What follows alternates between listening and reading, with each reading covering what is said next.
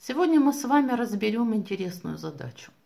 Найти площадь квадрата, описанного около окружности, радиуса 19. Для начала давайте мы с вами проведем этот радиус центр, подпишем, что это 19, и вспомним, что таких радиусов на нашем чертеже мы можем отложить 2, то есть провести диаметр. Значит, сторона квадрата будет равняться 19 плюс 19, то есть 38. Отсюда площадь квадрата считается по формуле а квадрат. Мы пишем, что 38 в квадрате. А 38 в квадрате это 1444.